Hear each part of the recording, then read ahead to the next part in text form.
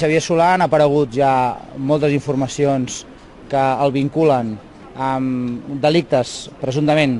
presumptes delictes, com el mateix Josep Maria Mates,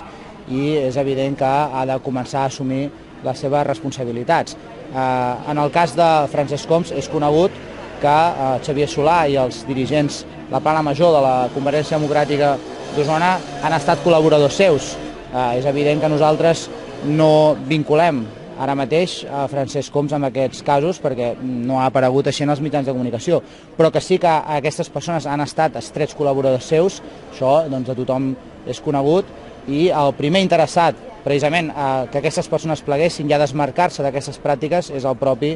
portaveu del govern de la Generalitat de Catalunya. I en aquest sentit eh, el que ens sembla doncs, inadmissible és que persones eh, que el poden acabar eh, contaminant no estiguin plegant dels seus càrrecs públics.